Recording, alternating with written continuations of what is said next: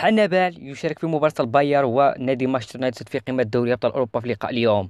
لعب 17 دقيقة بالتمام والكمال وتحصل على تقييم 6.5 كتقييم على أدائه وعلى مردوده طبعا 17 دقيقة لم تكن كافية للظهور والبروز أكثر لكن قدم لمحات بسيطة في اللقاء حيث لمس الكرة تسعة مرات فقط.